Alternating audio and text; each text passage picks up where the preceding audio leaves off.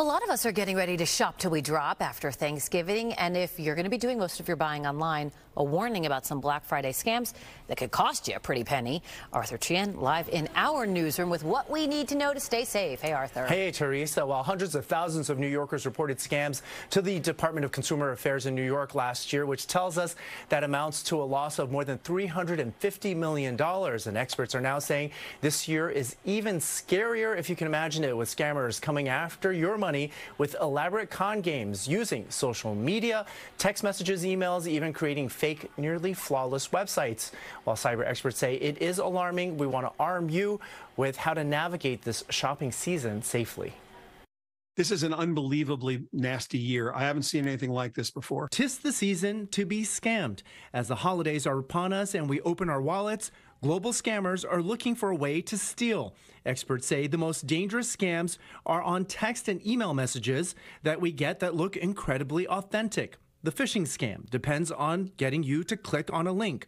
Whether on your computer or on your phone, it is a crime that is on the rise. And there's one simple way to make sure you don't fall victim to it. If you see an email offer that you really like, go directly to the website as opposed to clicking anything in the email.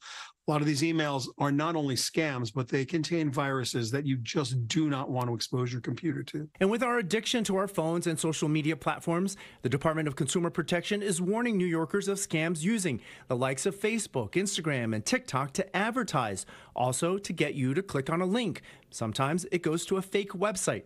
Here's the smart advice if you see an ad on social media and you're interested. Your antenna should be up if you're even clicking on anything in a third party uh, marketplace uh, scenario. And finally, fake reviews. Marketing experts say about half the reviews out there are fake, created by bots. In this case, the more reviews, the likelier we're getting a better picture of how a product really is. You can rely a little bit on what the reviews say, maybe the number of stars, the greater the number of stars, the greater the number of reviews, the more likely they are to be averaged out to be okay.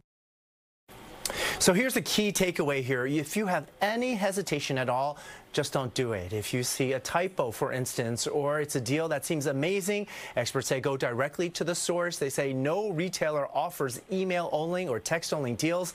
If it's legit, they say you can get it by going directly to that retailer's website. Teresa. Man, these scammers are getting so good, Arthur. They are. All right, thank you.